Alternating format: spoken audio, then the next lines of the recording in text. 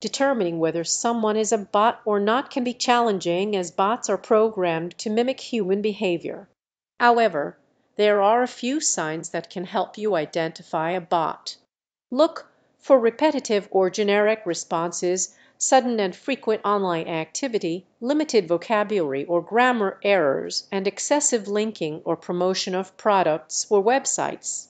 Bots often lack personal experiences or emotions, so they may struggle to engage in natural conversations. Keep in mind that while these signs can raise suspicions, they aren't foolproof.